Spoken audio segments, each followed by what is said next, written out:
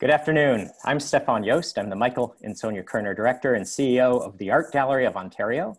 And today, this afternoon, we're joined by Glenn Lowry, who's the David Rockefeller Director of the Museum of Modern Art in New York City. Um, we like to begin our talks by acknowledging that uh, we are on the traditional territories of the Mississauga of the New Credit, uh, which has also been home to the Huron, Wendat, and Haudenosaunee through time. So um, I want to first welcome everybody. And before Glenn and I chat, a couple points of housekeeping. Um, first of all, um, you're welcome to submit questions to us. The format's going to be pretty simple. We'll talk for about a half hour and then we'll take about 10 minutes of questions.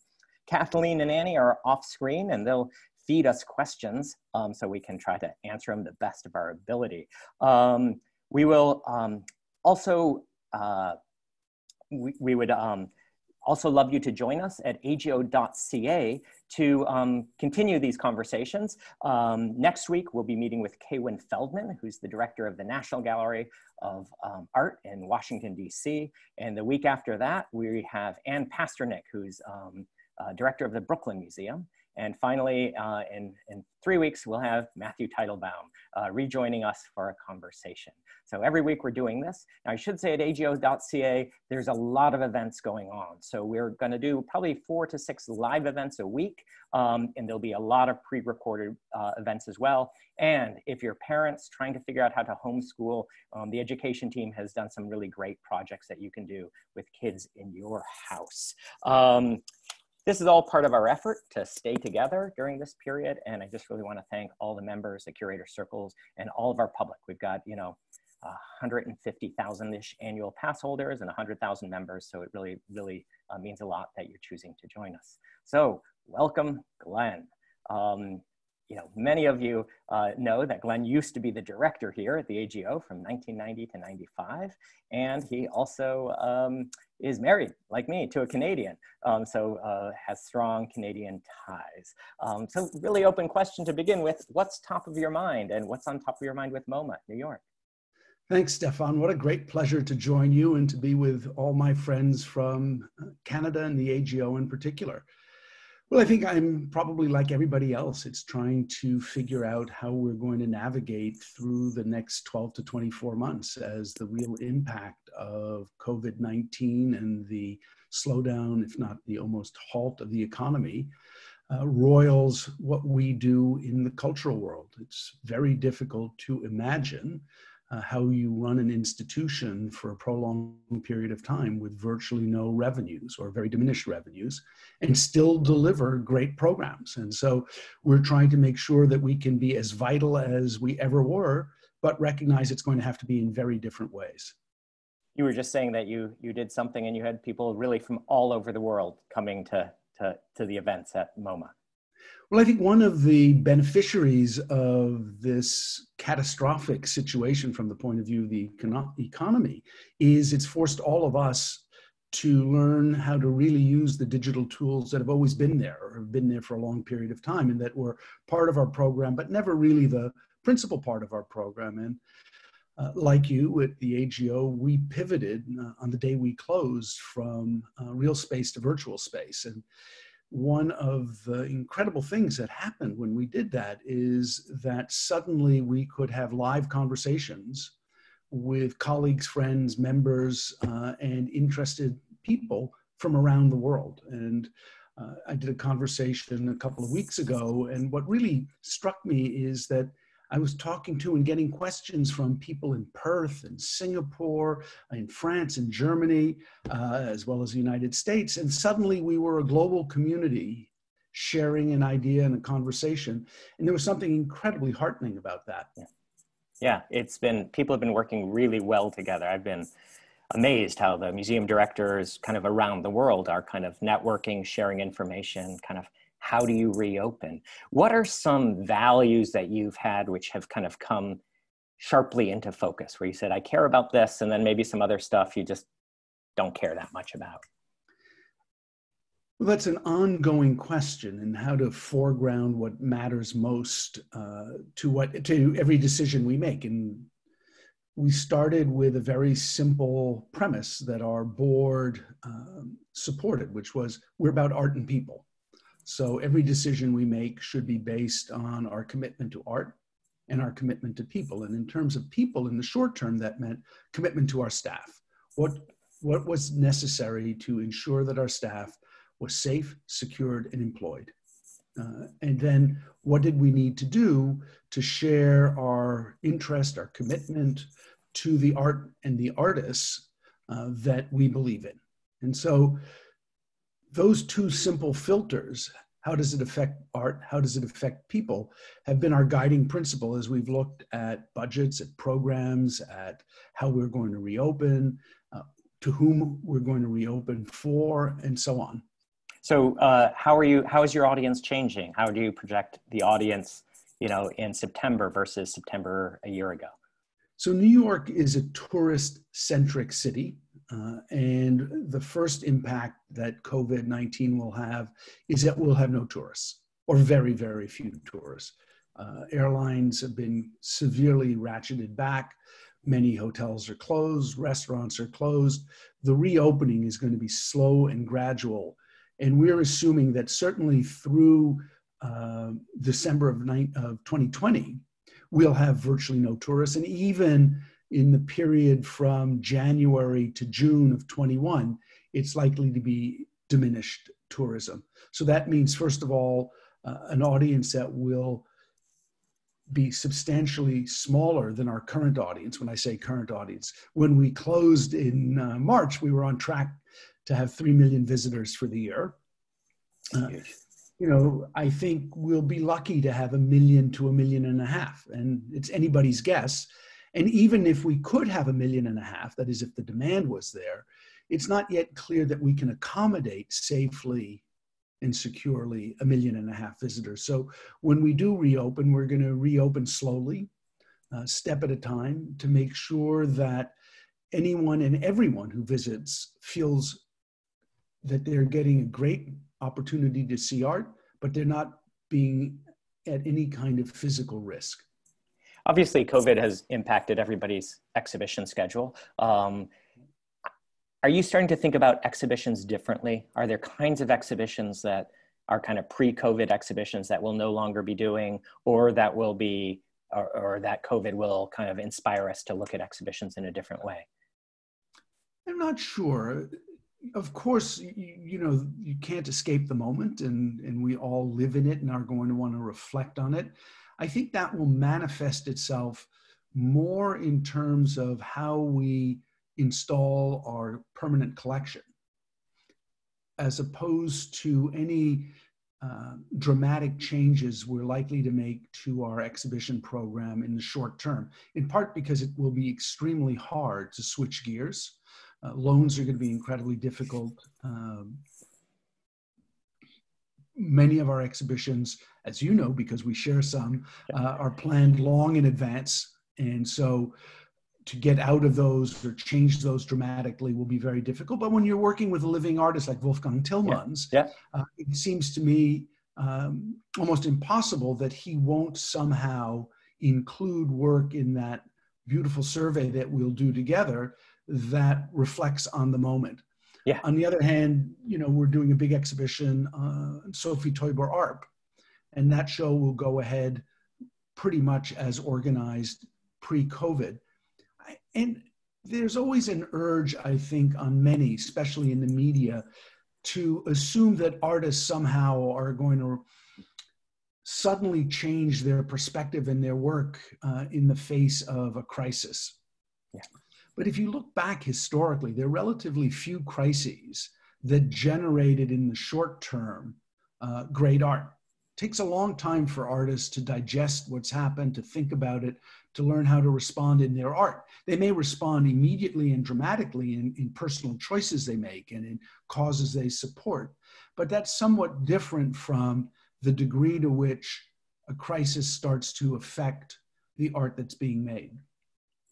What, um, so you had this extraordinarily high moment um, with the reopening of the new MoMA. It, they had a chance to see it three times and really, I think your team did an extraordinary job of just framing art history, uh, broadening it. In some ways, it really validates many of the great works of the past, but it also you know just really kind of elevates some other works who just we never saw as it's so important tell me a little bit about that process of reinstalling your permanent collection and what were some kind of key decisions that made it so successful?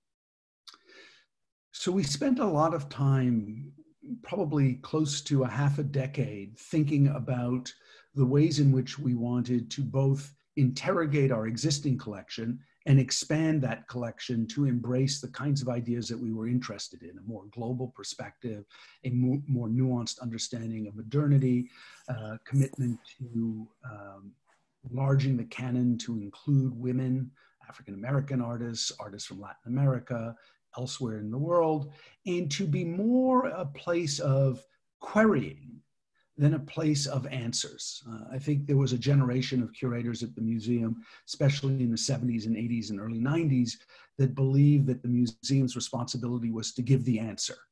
Uh, and I'm from a different generation, and so are the remarkable curators who work at the museum. And it's more interesting to us to frame the question. Uh, and I think that's an essential component to working in a museum of modern art. I mean, we don't have the answer the art we deal with, the artists that we are committed to, are still alive. They're still making art. They're still challenging us and thinking about new ideas and new ways of interpreting the world. And we want to be receptive to that. So we had to uh, spend a lot of time adding to the collection critical works of art that uh, enlarged our perspective or complicated our perspective. Then we had to break down the barriers that had governed the museum's practice for probably 35 or 40 years, where we displayed our collection by department. So we collected painting and sculpture, and we had galleries for painting and sculpture. And we collected photography, and we had galleries for, for photography, and so on down the line. And it took a long time uh, to learn how to collectively work across media and to make a commitment that actually we wanted to show the collection whole, not broken into its pieces and that we would use a chronological frame, a loose chronological frame that said, okay, on the fifth floor, it's early modern art from all media and all parts of the world that we were uh, able to uh, display.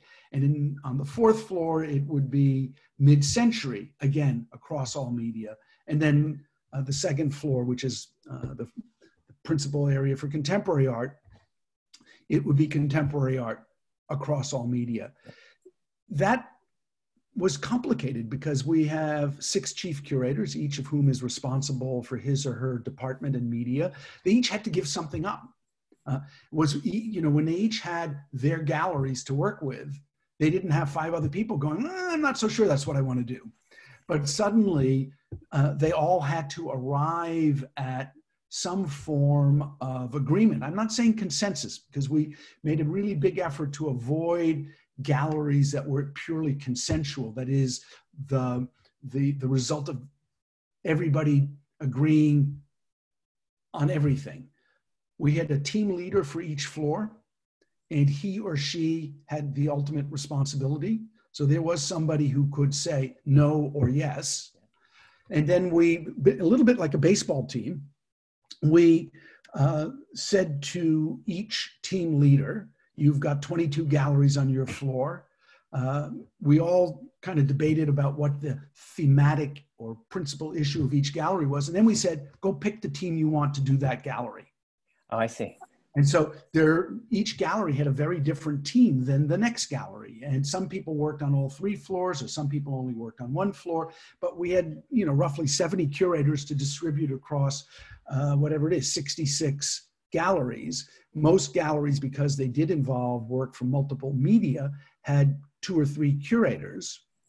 Uh, and it really was like baseball cards. I want him. No, she goes there. I want her. No, no, that's no. I was, of course, left as the ultimate. Uh, uh, I didn't have to do very much in that case, but I was the arbiter in case somebody was being pulled in eight different directions. The umpire who would say, "Yeah." What what what surprised you most about the public's response? Oh, unbelievably supportive it was. I mean, we did not expect that pretty much every uh, constituency that we're engaged with, from members to the general public to general media to people you know who write for specialized art magazines to scholars um, to colleagues in other institutions would respond so favorably. I mean, for us, this is V1. We and we're getting ready for V2, uh, which is, I hope, an even better version of where we are. But we expected this to be somewhat um, problematic, controversial, and liked by some people and despised by other people. And it didn't turn out that way. It, it, it was much more universally uh, acclaimed, which of course is, you love that. But actually, criticism is also very good. It's helpful. You, you need people to tell you uh, what you need to do. But I, you know, the part here that that often isn't discussed and that's actually very much related to the pandemic is so we had a strategy for the collection but as I said, we're about art and people. We also had a strategy for our public, uh, and which was to have a very high touch engagement. Yeah. Essentially, tried to evoke the spirit of being in the living room of a good friend. Yeah, uh, yeah.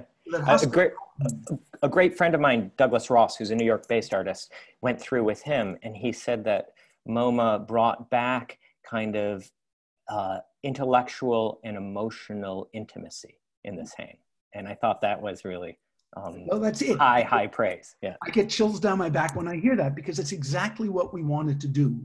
Uh, how, and it was all about in a very large institution, how do you still create these moments of intimacy, psychological, intellectual, uh, emotional? And one of the consequences, I think, in the short term of COVID is that all of the high touch qualities that we were able to layer in, seating, uh, um, uh, curators wandering through the galleries, talking to anyone who wanted to listen, uh, you know, uh, educator-led uh, tours, all, all, that stuff is gone, right? That for security reasons and safety reasons, we're going to become a touchless institution.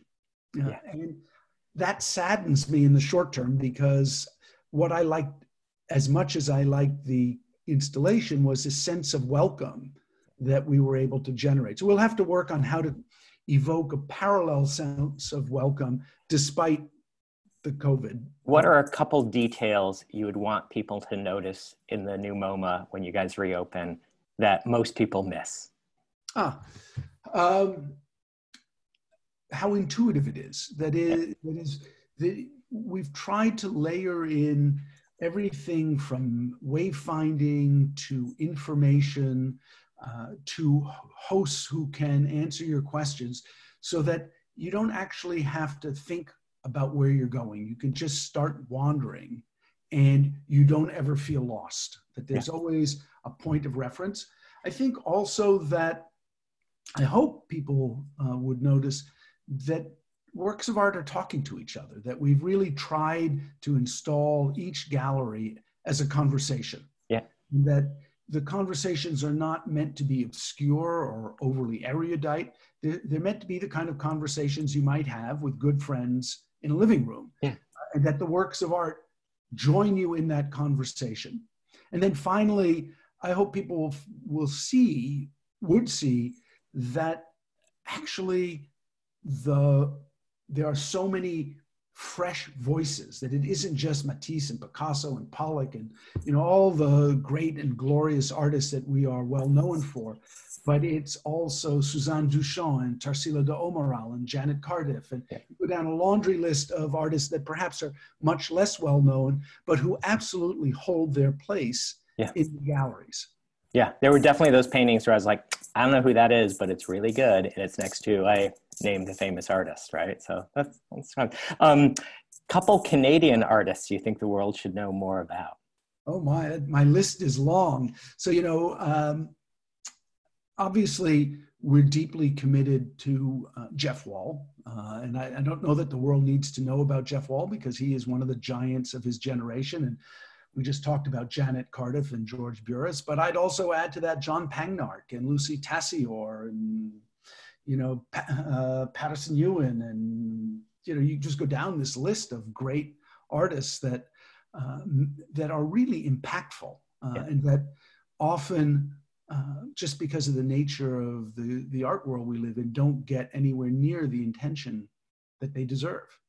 And uh, any kind of sense of how COVID is, how big the damage is going to be in the art market? You have a you know, it's an interesting one. Uh, what I hear from dealers that I talk to and collectors is there's still a lot of art that's trading hands, uh, that the market hasn't stopped completely.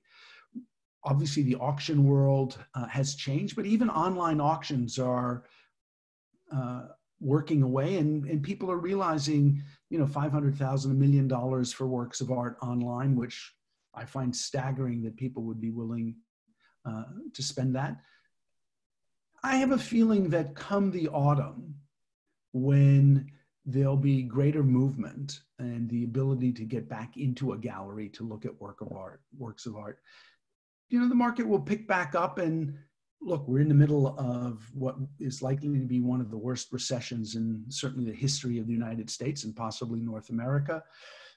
There's going to be a lot less money around, but there's still going to be money and there's still going to be art and there are still going to be dealers. Yeah. So, you know, I think the market um, will not will not disappear at all. And actually, taking a little steam, or maybe even a lot of steam, out of the market is probably not a bad thing. It was an, certainly in the modern and contemporary area, it was wildly uh, hot and and inflated. And so, if it settles down a little bit and maybe isn't so frenetic, and maybe there aren't quite as many art fairs or biennials that one has to go racing off to, uh, that's not a bad thing yes. from my perspective. Yeah. Uh, yeah. I, I'm, my hope is that a, a, new generation of dealers recognize a new generation of artists, right? And the sure. prices might be, sure. Might, might be different. So behind you, you've got this extraordinary photograph of a garden. Um, tell us about it. And each time I've spoken to you, you've had a different photograph of an extraordinary garden behind you. So so, as some of you know, may know, I'm married to uh, Susan Chambers from Montreal. Uh, and I think a response to having grown up in the snow is this unfettered desire to make green things grow at every moment of the day and night. And so, for the last eight weeks, she's been puttering in her garden, something she's never been able to do because we're in New York most of the time. Uh, we're actually now in a small house about an hour and a half north of New York. And so each day she is posting on my virtual uh, background a different picture from the garden. It's it's beautiful. It's nice, and um, we're jealous because you guys are a good month ahead of us here in here in Toronto. Um, There's some advantages to being south. Yeah, exactly. Um, before we go into some questions, um, what are uh, some things you think we should be thinking about, like big challenges, things kind of looking out a year, whatever that maybe we should pay attention to that. Well, I certainly think that any institution that deals with living artists, as I know the AGO does, needs to think about what we as institutions can do for artists in this time. What are the, it's not just about exhibitions and public programs, it's, you know, how can we as institutions embrace a community that's been hit very hard by yeah. COVID 19? And what are the kinds of initiatives that we can develop together for artists? And how will that expand actually our programming? Well, we were chatting before uh, we entered the conversation now, talked about you know the impact of the digital world. I think we need to concentrate on how we can collapse the digital um, and the physical that they're really part and parcel of a continuous experience so how can we make that uh, work coherently for our various publics you know, I, I have an enormous amount of anxiety at the moment over how COVID 19 and for us, what has been now eight weeks of isolation, and I think it's probably very much the same in Canada. What's the impact going to be on people who have been essentially sequestered in their apartments for that amount of time alone? You know, if you're lucky enough to have a partner or children or or you're sequestered with friends, you have a different kind of experience than if you're all alone in your apartment yeah, sure. and can barely go out. So I think there are going to be some long-term residual mental health issues that we're going to want to deal with, both in terms of the community at large, but what I care about specifically is our own staff. Yep. I'm one of the things one of the things we did um, AGO we we managed to keep everybody on board. It was tough, but some donors stepped up and everybody took a 25% pay cut in order to keep everybody employed between now and September 15th.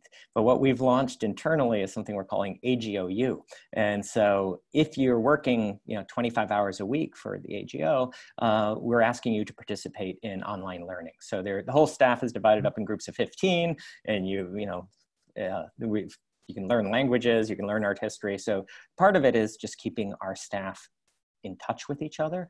But that if you're a security officer living alone, but you have to check in with 15 of your colleagues at the beginning of the day and then talk at the end of the day about what you learned. It's just trying to keep that social cohesion together, but also, um, hey, it's great if guards are learning Mandarin and French and Anishinaabe. That's that's great. It's fantastic. so, so do you have outside people teaching courses? Uh, we have so many great educators here. So we're, we're actually using Coursera catalog courses, mm-hmm. and some of those are, are MoMA developed, um, but they're free, so people are just going. Um, but then we also have educators who are teaching classes. Um, but anybody can, on staff can contribute. And maybe we'll open that up in the future to, to the general public. But behind the scenes, we got AGOU going. yeah, that makes, makes perfect sense. Kind of I, I, I think there's just a lot to be done in terms of – trying to make sure staff stay whole yes. and yeah. get through this without any kind of long-term emotional issues. I'm an optimist. By, I'm a pessimistic optimist, um, by which I mean uh, I'm generally optimistic, but there's a dark streak that I'm always aware of. So I, I, I see this moment as a 12 to 24 month moment when it's going to be a real struggle. And then I see this period from 24 months to 48 months when things start to really recover in a substantial way. And, you know, five years is a long time. It, it will be in a very different place and we will, have, we will have absorbed a lot of lessons. We will have surely made our institutions better by being more focused and more, um, more efficient in, in use of resources but we'll also still be doing what we do, which is to produce great exhibitions and great programs and thoughtful installations of the collection and engaging our public. Yeah. So I, you know, I don't think that this is a um, a shock to the mission. I think it's a shock to the operations. Yes, slightly different. Right. Uh, That's right. That's right. We've got some great questions here, um, and and this is a was a just a beautiful question. As two museum directors, what personal rituals do you miss when you arrive at your museum every day? Ah, well, I can tell you mine. I'm sure you have an equally yeah. uh, important one. So I, when I started out as a young curator uh, at the Smithsonian Institution, uh, the then director, who was a terrific scholar and uh, brilliant curator, said the first thing you do when you come to a museum, if you work at it, is you walk the galleries quietly without anybody bothering you, and you take a little notebook with you, and you just note things that you've seen that you like, that you think require attention. And I do that pretty much every day that I'm at the Museum of Modern Art. And now, what I do is I close my eyes and I walk the museum uh, in my mind. Yeah. Yeah. I still adhere to that ritual. It's yeah, it's I, I miss the collection a great deal. Um, I, I must say I miss saying hello to the security officer in the morning. I, I, just for some reason that just feels like the start of the day. And I miss Susan, my assistant. We're we're obviously always in touch, but but it um, you know it's it's different having it in person. Somebody asked a crystal ball. When might the AGO and MoMA open? anyone who can get that right, you know, go immediately and buy a lottery ticket. Yeah. what are you uh, thinking about, Stephan? Uh, we're modeling different models. Basically, we think probably someplace between Canada Day, with a July 1st, and September 15th. Um, we're going to do it when it's safe, um, but we have plans that are quite far along. So if we hear that it can start earlier, we'll start earlier. If, if not, um, we'll, we'll, we'll delay it a bit. My sense is we'll we'll have pretty severe limits on how many people can come in. So um, set by the government. Uh, that's my guess. Um, I'm asking just for very clear rules from the government. They've been, I must say that all three levels of government have been working beautifully together.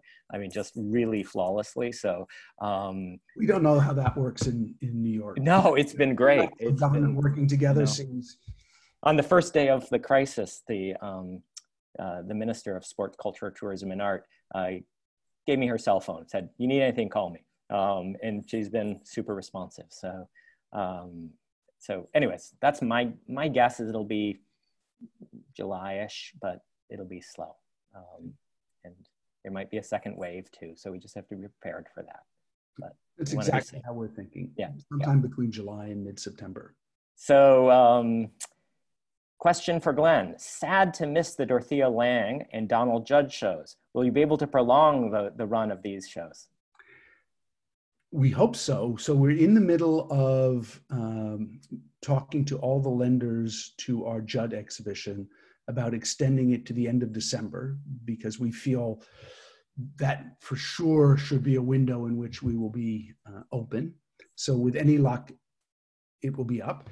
And if you go to our site, um, MoMA.org, and you go to virtual views, you will be able to hear a conversation uh, with Sally Mann and uh, Sarah Meister on Dorothea Lange, and with Ann Temkin and Flavin Judd on the Donald Judd Show.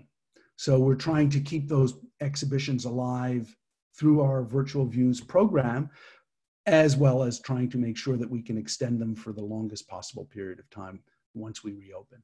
Yeah, yeah, no, that's I, we had all sorts of ideas, but we're gonna we're gonna basically keep the um, Illusions show and the Diane Arbus show up, um, and then we're also uh, going to be opening a major Haegue Yang exhibition. Uh, 85% of the material is already here. It's just all crated. So it, the week after we closed, the shipments arrived from Korea and Germany. So we'll install that. Um, but, oh, I can't and then, wait to see that. And then we're going to do in December, where I don't even know if this is public yet, but we're going to um, do the Studio 54 show. We're mm-hmm. working with with Brooklyn, just under the idea that you know people hopefully will want a little disco music and a little lightness come come December. We'll see. we'll see. Um, uh, I'd like to know uh, how your love and expertise of Islamic art translates into your role at MoMA. Many people don't know that uh, Glenn is a scholar of Islamic art, um, and just curious what the connection is between your scholarly area and your leadership at MoMA. well, there's no direct connection in a way, and yet there is. Uh, so I spent the first part of my career studying medieval Persian painting uh, from the 16th and 17th centuries and architecture from Mughal India of the 16th and 17th centuries. And what I was able to do when I came to the Museum of Modern Art was to migrate that interest to contemporary artists from those regions, from Iran, from India, from um, the Middle East, Turkey, Egypt, the Gulf, and so on. And so I've been writing about uh, artists from the region. I'm deeply interested in how uh, contemporary art is practiced in the Islamic world, to, to use a kind of big rubric to capture a very complex and uh, geographically distinct area. And I think on a very um, personal level, being deeply interested in a culture other than one's own informs the kind of initiatives you're interested in provoking at the institution. I think it, I think, you know, I arrived at the museum and deeply interested, of course, in modern and contemporary European and North American art, but also extremely aware that that was a very small slice of a very big world and that we needed to expand our horizons and it took me close to you know 15 or 20 years to convince the institution hmm. that we needed to do that and i learned when i was at the ago a lesson from michael hazley in fact uh, whom you know well I, I learned a lot of lessons from michael hazley the first and most important was balance the budget okay but good after he, me, after he taught me that uh, I, you know, I learned very quickly that there are two different kinds of change. There's dramatic change that you can do by fiat, yeah. pound your fist on the table and say, I want this. And there's sustainable change, which you do by a much more subtle and complex process that, in, that involves people buying into the yeah. idea and then owning it so yes. that you can walk away. Uh, and while I, you know, probably was not as skilled at sustainable change when I was at the AGO, just because I needed to learn how to do that. Uh, I certainly try to practice that at the Museum of Modern Art. And so rather than sort of jumping up and down and saying, why aren't we looking at art from the Middle East or from the subcontinent or from Latin America, or you name, you name the region that produces great art, it was more like, okay, let's develop a strategy that over time keeps us deeply committed to those regions. And we started with Latin America for a number of reasons that are uh, very MoMA centric. And we've been expanding that out to Asia, to uh, Eastern Europe, to the subcontinent, to the Middle East. And, you know, if I were to walk away tomorrow morning, I don't think that interest would change. I think yeah. curators, having and educators and conservators and archivists uh, have embraced the notion that we need to be present in our thinking and in our relationships around the world. And that to me, I think is the most substantial manifestation of what actually started with an awareness on my part that great art was being made in Iran and India and Pakistan and elsewhere. Yeah, that's a that's something I think about. What's a temporary change and what's a what's a short term change? Um, somebody just asked if we went eyeglass shopping together. so I got these at the AGO shop when we reopen. Go buy them. What's great about these is they you can you can um, uh-huh. They're pretty indestructible for reading glasses. Um, finally, um, one work of art that you own in your house that you you and Susan love. Oh. Um, probably the work of art that I love the most, um, and Susan too, is an extraordinarily beautiful drawing by Leon Ferrari, who was a great Argentine artist, came to prominence in the late 60s, died only a couple of years ago at almost 100. And during uh, the reign of terror in Argentina, he wrote a series of letters to the generals and these letters are indecipherable. They're just they're they're they're kind of calligraphic. Uh, you can't actually read them. They're they're like spontaneous drawing, almost uh, uh, from a distance. You think that they are legible, but in fact, as you approach it, you realize uh, that it's all about the hand and the gesture.